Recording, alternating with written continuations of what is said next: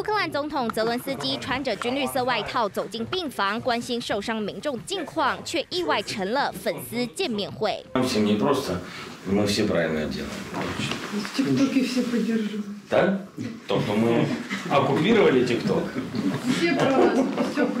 从演员到总统，现在还成了抖音大红人。俄乌战争延烧，无辜民众深受波及，但泽伦斯基没有逃离，选择和人民站在一起对抗邪恶势力。而就是这份骨气，让他深受全球人民的爱戴。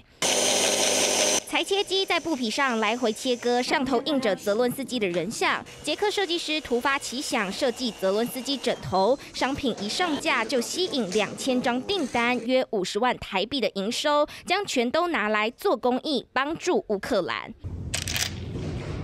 经典军绿色上衣搭配些许胡渣，泽伦斯基周边商品再加一。美国玩具公司创造出泽伦斯基乐高，同样吸引粉丝下单购买。Having sold out the first batch of them kind of immediately, but to people we knew, kind of kind of our regular customers, we kind of thought we were done with it. And then all of a sudden, started getting pings on the phone, and we saw that it was being reproduced.